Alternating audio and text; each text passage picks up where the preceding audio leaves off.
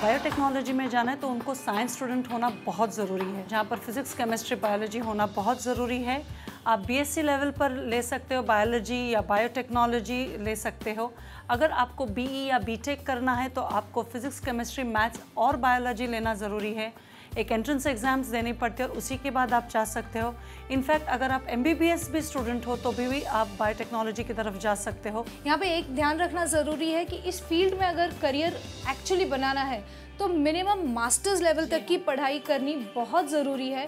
अगर आप आगे पढ़ते हो तो ऑब्वियसली स्कोप ज़्यादा है। उसी के साथ टीम वर्क में काम करना और बहुत सारे पेशेंट्स की ज़रूरत होती है इस फ़ील्ड में काम करने के लिए।